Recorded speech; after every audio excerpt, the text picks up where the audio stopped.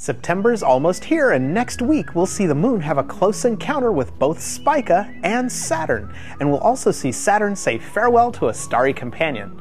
Wondering what I'm talking about? Here, let me show you. Alrighty, I have our sky set for just after sunset facing west.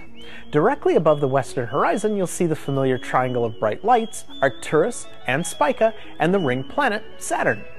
If you've been watching Saturn over the past few months, you've noticed it's appeared very close to a little star called Porrima.